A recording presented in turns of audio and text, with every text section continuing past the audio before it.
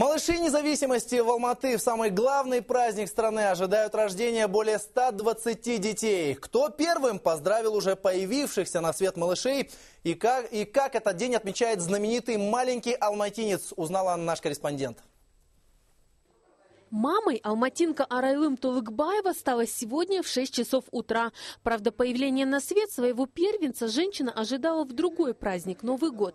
Но девочка оказалась нетерпеливой и родилась на две недели раньше. Имя малютки еще не дали, зато в первые часы жизни мама уже определила ее характер. Надеюсь, она будет э, достойной э, гражданкой нашей страны, храброй, Самыми первыми алматинок, ставшими мамами в День независимости, поздравили чиновники от здравоохранения. Всего в городе 16 декабря ожидают рождения 120 детей. Почаще поступали в эти наши родильные дома, чтобы на такие радостные моменты, чтобы приходили э, в нашу жизнь и мальчики, и девочки, чтобы действительно они завтра стали э, тем нашим поколением уже не просто детьми наших мам, а детьми такого большого-большого государства.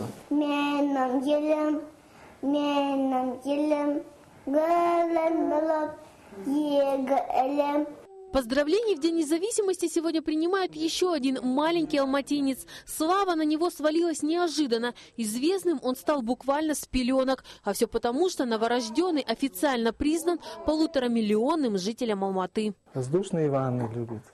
Любит купаться. Обожает купаться. Погружаться вот так э, под, под воду и лежать вот так. Родители появление на свет своего сына планировали в Америке, но в последний момент передумали и приехали в родной Алматы.